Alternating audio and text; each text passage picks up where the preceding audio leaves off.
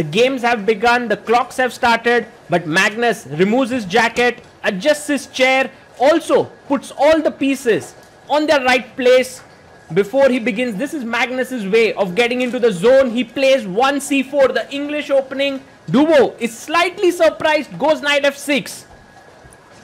Magnus brings out his knight. We have the symmetrical English pawn up to g3, e6 played. Now knight comes out and Dubov plays in the center. Dubov is known for his Tarrasch defense. In fact, many have started calling it Dubov's Tarrasch. It involves taking this pawn, getting the bishop out.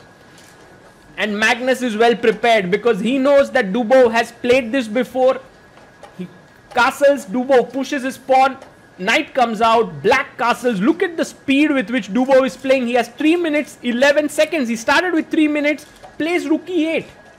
Also, theory, Magnus now taking it his time because he's re recollecting what he should do.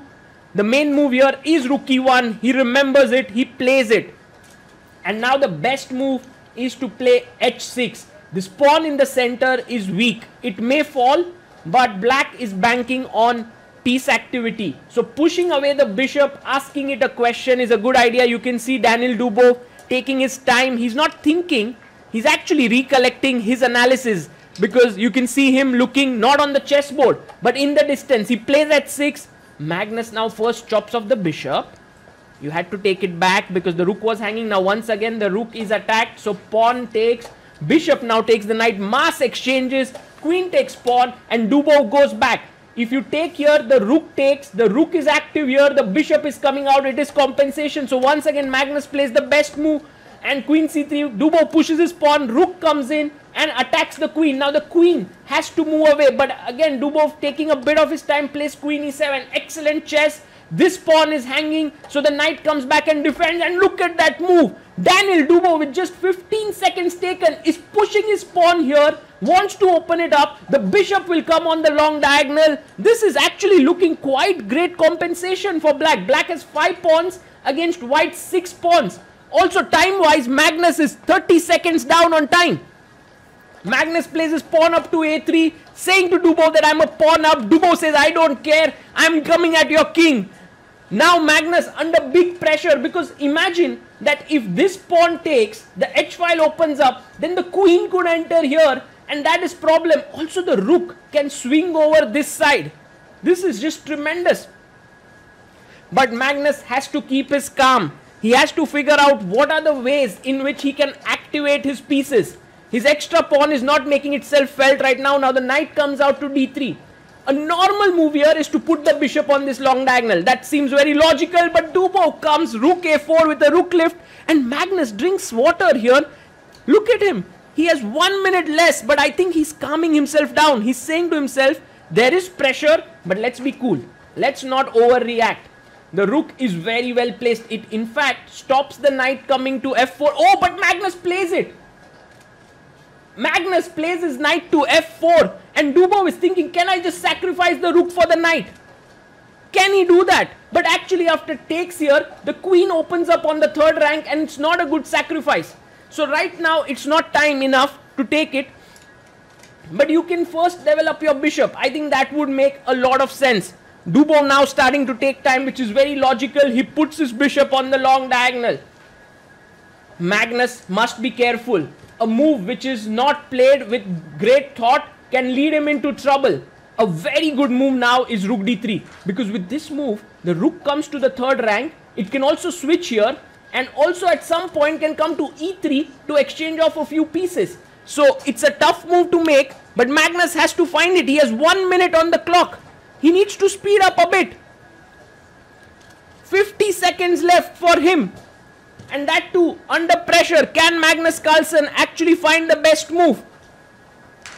He's thinking and he plays it. You can bank on Magnus to find the best moves in the position.